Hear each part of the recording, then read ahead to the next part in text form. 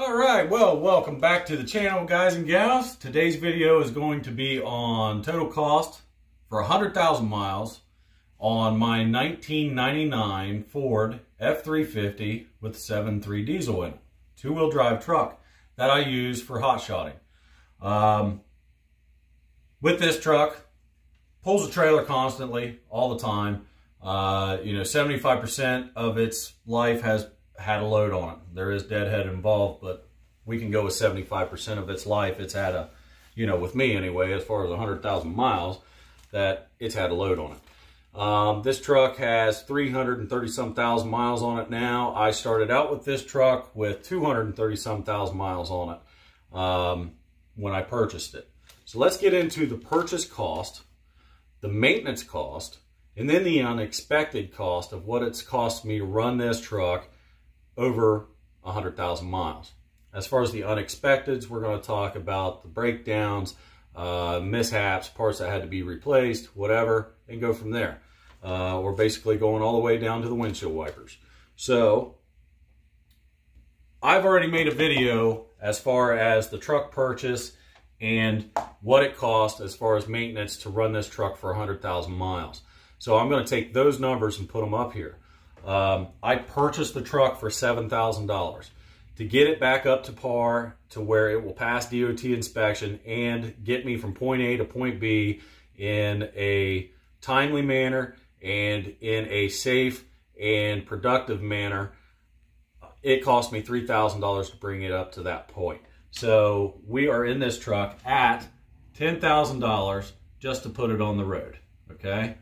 That's the magic number right there. $10,000 is what this truck cost me to start running up and down the road. Uh, within that $3,000 uh, extra that I put into that truck, we done turbo, turbo pedestal, uh, all four rear tires on the truck. It is a dually. Uh, all four rear tires of the truck. Um, we done front and rear brakes, front and rear rotors, front and rear bearings, inners and outers, uh, front and rear calipers, um, fluid changes. This is what we done to bring it up to that point of $10,000 and start from there to go for 100,000 miles. So, as far as the maintenance cost for 100,000 miles, this involves all your fluid changes, okay, for 100,000 miles. Um, it, it involves my one tire change, uh, complete tire change, um, and I think two extra front tires, if I recall, uh, for 100,000 miles in this maintenance cost. Uh, at that point, we are at, I got to find it here, maintenance cost, uh, $2,649, okay, for 100,000 miles. So 26, 49, 100,000 miles, that's what it costs to do the maintenance. That's your oils, that's that's your filters, that's tires. That's what it should cost you with any other hiccups, without having any kind of other hiccups, uh, for $100,000 worth of maintenance is if you do it yourself. This is yourself doing the work, okay?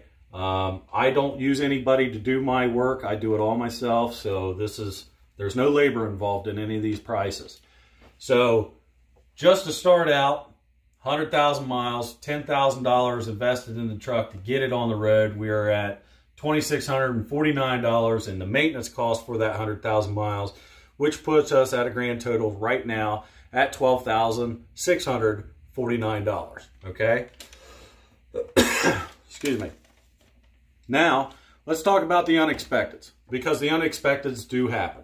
Uh, doesn't matter what you're driving, whether it's a brand new truck or a 22 year old truck like what I'm running. Uh, it happens. I can tell you firsthand that it happens because I've been down that road. And let me tell you, I would rather be in this old truck than a brand new truck doing this work. And there's a couple reasons behind that. One, parts availability. Two, I don't need a computer to work on this truck versus a brand new truck. Three, I can work on this truck no problem versus these new trucks. You need that computer to work on, okay? Uh, there's a lot of variables of what's going on between old school, which is what I'm running, versus the new trucks, new school, and uh, a lot of things that I don't know on the new trucks. These old trucks, I grew up with these trucks. I know how to work on these trucks. So, and they're simple, real simple to work on. Let's get into it as far as the unexpected.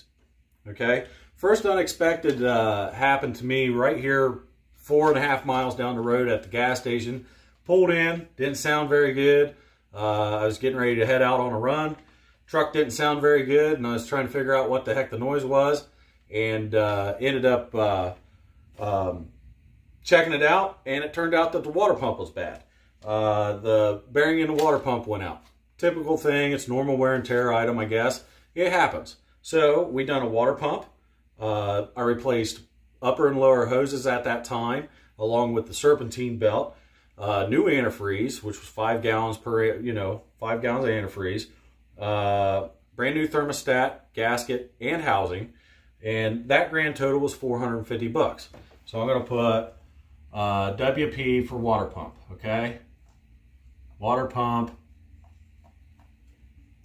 $450 is what it costs for me to do that right here. I just drove the truck home, went in town, got the parts, come back, put it together. All right, so that was that. Now, could I have gotten away with just doing a water pump and maybe a thermostat? Absolutely, probably could have, but out here doing the hot shot uh, trucking, what I do, you know, you get into remote locations, you're pushing the trucks to the extreme all the time, and uh, or 90% of the time, you're pushing the trucks to the extreme, uh, doing the unthinkable with these trucks constantly, day in, day out. If I'm tearing into something, I'm going to go ahead and replace it. That way I know it's new. Uh, that's why I did the serpentine belt because you have to remove the top radiator hose on this particular truck uh, to put that belt on. So I went ahead and did it. Uh, same way with the uh, upper and lower radiator hoses. I don't know how old they were. Truck's got 230 some thousand miles on it, or you know when I bought it. So we'll just go ahead and replace them. All right. The second thing, okay, this happened down in Paducah, Kentucky. Uh, went down there, spent the night, was going to offload the next morning, and uh, two things happened. It was just like you know when it rains it pours kind of thing. Um, two things happened at the same time. So it's hot and muggy, dead middle of summer, hot and muggy, and um, my blower motor quit working, so I had no AC in the truck. And I'm spending the night at a truck stop in the truck. All right, it's cold. It, it's it's just unbearable. I really didn't get any sleep at night. Uh, to top it all off, um, next morning, shut the truck off, went inside the truck stop, was going to get a shower because I was just nasty from the night before, just from sweat. Uh, went in truck stop, got a shower, come back out, went start truck, batteries were dead on the truck. Alternator went out. So ended up uh, changing not only the blower motor, which went bad, uh, I also put two new batteries in it. The older battery, the old batteries that were in it were probably fine, but they were dead at the time. I went ahead and bought two new Duralast batteries and uh, stuck those in.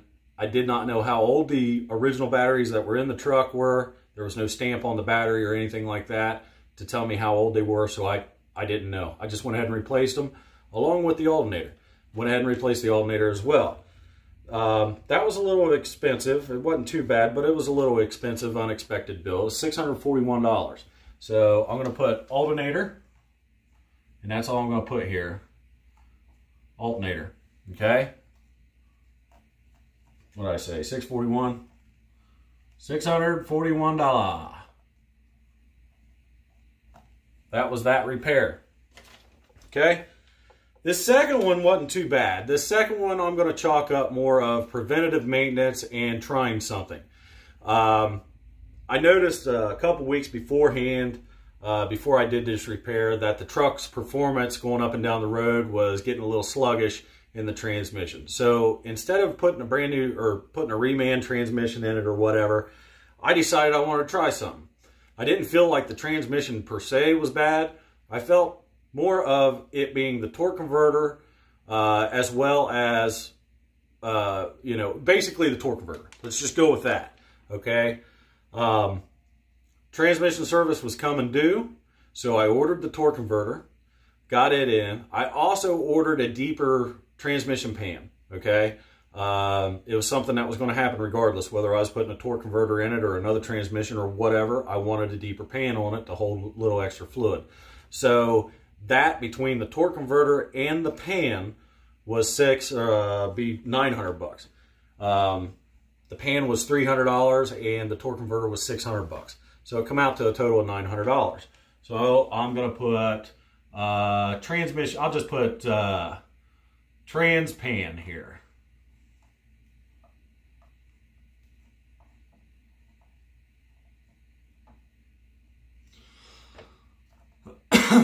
Total of $900.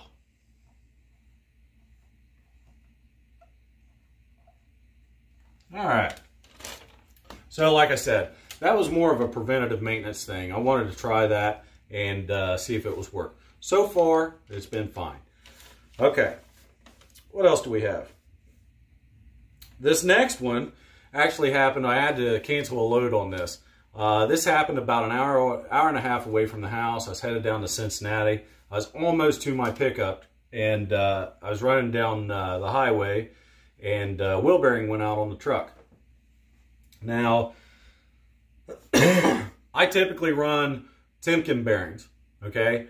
Uh, at the time when I put, you know, up here at the purchase of the truck, only thing I could find at the time was National bearings. And of course, that's what I had to put back into this, unfortunately. Um, but I don't like National bearings. I like Timken. Um, this wasn't uh, a maintenance flaw uh, by no means. There's plenty of grease. Um, you know, wasn't overworked. The bearing should have lasted, should have been fine. I've talked to several mechanics over this, master mechanics and stuff, and uh, had showed them the bearings. And each one of them had told me that it looked like it was a fluke during the heat process of the bearing because it was just, it wasn't large enough. Uh, the, the needle part of the bearing just wasn't large enough.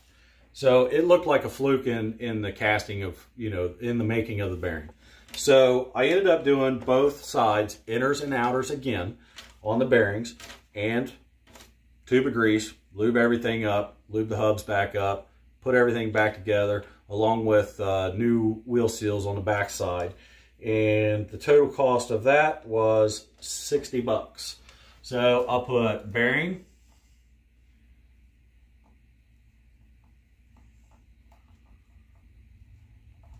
Sixty bucks. Now, keep in mind, I'm doing all this work myself. Uh, not doing this, you know, I, am not paying any labor. I'm doing all this work myself. So this is just the cost of the parts. Um, this should actually have a tow bill on here. But I lucked out and one, you know, my buddies were actually uh, at the farm. Didn't really have anything going on that day because of the rain. and they actually come and got me, okay? I bought their lunch, you know, I, we repaired it, you know, we went in town, got the parts and stuff, uh, bought their lunch, you know, they won't accept none of that stuff. They won't even hardly accept fuel, but I snuck fuel in their truck and I got their lunch for them. So uh, we'll just leave that off of there. Anyway, the next thing that we ended up doing was uh, a windshield. So I can't, I think I was down in Kentucky. Running down the road, truck in front of me kicked a rock up, crack my windshield. Not allowed to run down the road with cracked windshield, especially, you know, if you're doing it commercially. So we ended up putting a windshield in. So I'll just put a big old W here for a windshield. Uh, that cost me 450 bucks. 450. And they come right out here to the driveway and put it in for me. No problem. So that was $450. The next thing, we're getting down to the nitty gritty. So we're doing pretty good. The next thing was set of headlight bulbs. I ended up changing, that was another thing that we done up here in the truck purchase. Um, I got rid of those smoked out, you know, factory headlamps and I ended up buying a set off eBay. They were like 100, 125 bucks, whatever. Uh, went and bought new bulbs and put them in there as well. Um, I run the Sylvania bulbs, the, the ultra bright, ultra bright bulbs or whatever. So they went out. Uh, one went out about two months ago. The other one just went out last week. So there we go. Bulbs.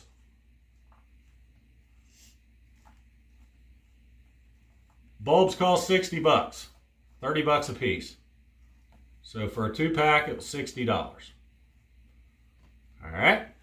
Now, the next thing, oh yeah, this next one is a good one. Windshield wipers. Okay. Again, I put brand new windshield wipers right up here in this purchase. Okay. Um, like I said, I'm not going to beat around the bush. We'll just go down through the whole list. Uh, I ended up having to put a set of windshield wipers on it two weeks ago um, because it started raining, turned them on, and they didn't work all that great. Uh, they weren't cleaning the window, so I just put new windshield wipers on them. I'll put wipers down here.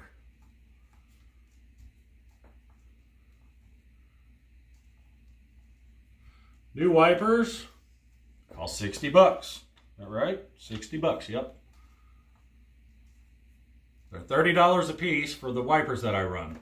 I run the uh, Rain-X uh, Latitude uh, wipers, and that's what uh, that's what I put on there. So they're expensive, but they work great. And uh, you know, for my line of work, that's what I like to use. Uh, so some of this cost may be different depending on how you use your vehicle, if it's farm use or how you decide to take care of the vehicle. But as far as DOT goes, it's got to be tip top. And this is the kind of stuff that you just go ahead and do. I'd rather spend the money here and keep running uh, in my line of work than uh, have a little bit of a leak or something and get inspected and then get red tagged and have to set on the side of the road and pay somebody else to fix it. Uh, cost me a heck of a lot more. So that's that. Total cost uh, of purchase of the truck, maintenance, plus all the unexpecteds comes out to fifteen thousand two hundred sixty-four dollars even. Okay, that's what it is. Fifteen thousand six hundred and fifty-two dollars. Fifteen thousand two hundred and sixty-four dollars is what it come out to. Now, that's what it cost for hundred thousand miles to run my '99 F350 with 7.3 diesel two-wheel drive truck running hot shot. That's the cost of my truck. Uh, and that's with tires, the whole nine yards. Okay, that's even with an extra set of tires put in there. That's the whole nine yards. All that was put in the maintenance side. And then this is all the unexpected. 15 264. Okay? Before I ended up doing a video as far as a new ver or a new truck versus an old truck up to 100,000 miles and then you have to start paying for everything as far as everything. I'm talking about everything, plus a payment of $1,000 a month. At that time, I ended up, you know, with this old truck, I said I was going to put $1,000 a month away, okay, $1,000 a month away for each month I was running this old truck, okay? This old truck I've actually ran for 24 months. So that's two years. Okay, that's where we're at with this truck. So with that two years, I should have $24,000. We'll just bring it right over here. $24,000.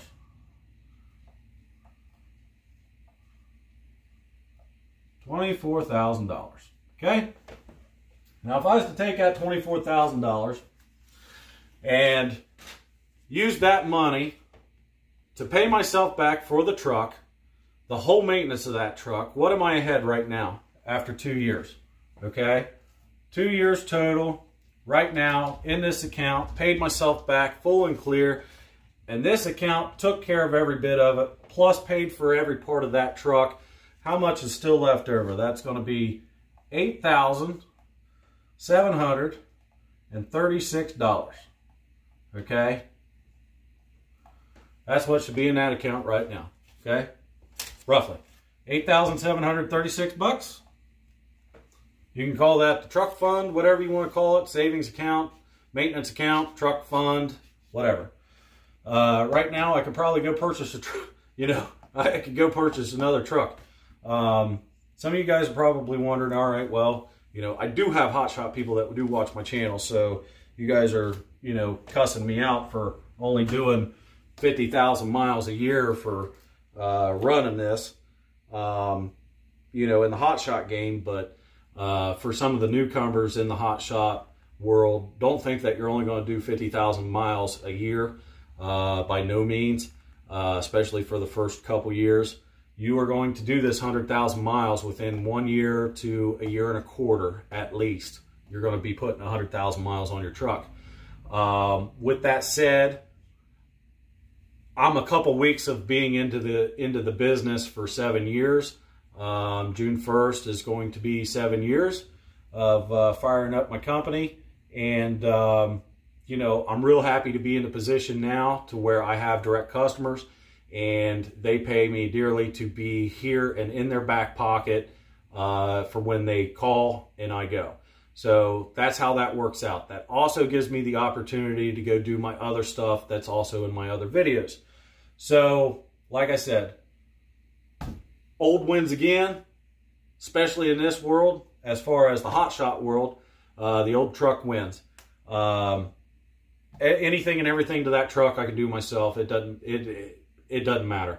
Uh, the only thing that I subbed out on that as far as uh, the work that went on was the windshield. I don't mess with glass, so that's the deal. It was 450 bucks for a new windshield. Let me know your guys' thoughts. Am I right? Am I wrong? You know, am I looking at the logic wrong as far as, uh, you know, should I just go with a new truck or stay with the old trucks? Me personally, I already know where I'm at, staying with the old trucks, and I'm staying 26,000 and under for anyone that wants to know. I am not going into a big truck. I have no problem going into a big truck, but it's not for me. Um, especially with my future plans, which you guys will be seeing that here shortly on uh, what's going to happen in the future. So I'm still going to be hot shotting. Don't worry about that. And until next time, guys, thanks for watching. We'll catch you on the flip side. Later.